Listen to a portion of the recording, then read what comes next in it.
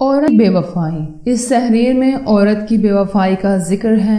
हजर ईसा का, औरत को ज़िंदा करना और फिर बेवफाई की वजह से दोबारा मार देना। एक रोज हजर ईसा इस्लाम का गुजर एक कब्रिस्तान से हुआ। तो वहाँ एक शख्स एक कब्र के पास बैठा, जारो कतार रो रहा था। आप इस्लाम ने रोने के सबब पूछा तो कहने लगा ये मेरी जोजा की कब्र है। ये मेरे चचा की बेटी थी। मुझे इससे बहुत ज़्यादा प्यार था। मैं इसकी जुदाई बर्दाश्त नहीं कर सकता। हज़रत ईसा ने फरमाया, अगर चाहो तो मैं अल्लाह के हुक्म से तुम्हारी बीवी को ज़िंदा कर दूँ। उसने बेकरार होकर कहा हाँ ऐसा ज़रूर कर दीजिए। चनाचे आप ने कब्र पर खड़े होकर कहा अल्लाह सुबहान तला के हुक्म से उठ जा। कबर फटी और उसमें से एक हबशी गुलाम बाहर निकला, जिस पर आग के शोले भड़क रहे थे। उसने हज़रत ईसा को देखकर आवाज़ बुलंद कहा, ला ईसा रूल्लाह उसका ये कहना था कि आग बुझ गई अजाब से दूर हो गया। उस शख्स ने कहा कि मुझसे गलती हो गई। मेरी बीवी की कब्र ये नहीं, बल्कि दूसरी है। आप इस्लाम वहाँ तशरीफ़ ले गए और फरमाया, अल्लाह जोजल के हुक्म से उठ जा।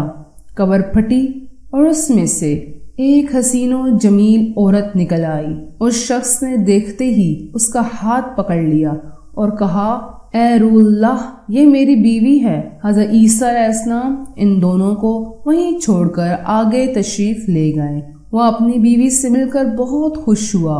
कुछ देर बाद उस पर नींद का गलबा हुआ तो वहीं सो गया। उसकी बीवी उसके करीब बैठी रही। इतने में वहाँ से एक शहजादे का गुजर हुआ। शहजादे ने उस औरत को देखा तो उससे पसंद आ गई। औरत को भी शहजादा पसंद आ गया। और वो अपने शोहर को सोता छोड़कर शहजादे के साथ चली गई। जब उस मर्द की आँख खुली तो अपनी बीवी को ना पाकर बहुत परेशान हुआ। ढूंढते ढूंढते शहजादे के महल तक पहुँच गया। वहाँ उसे अपनी बीवी नज़र आई तो कहा, ये मेरी बीवी है। शहजादे ने कहा, तुम झूठ बोलते हो। ये तो मेरी लोंडी है। यकीन नहीं आता? तो इसी से पूछ लो।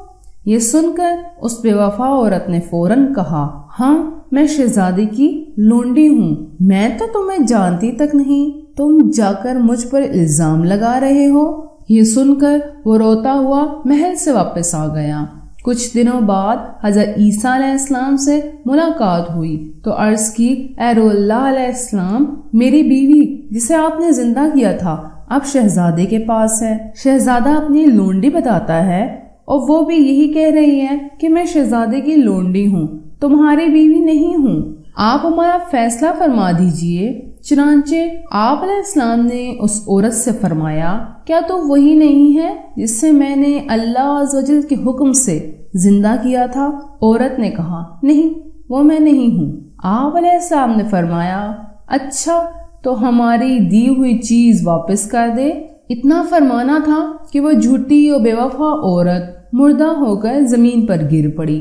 हजर ईसा ने फरमाया, जो शख्स ऐसे मर्द को देखना चाहे जो काफिर होकर मरा था, फिर अल्लाह वजल ने उसे ज़िंदा करके ईमान की दौलत से नवाजा तो इस हबशी गुलाम को देख ले।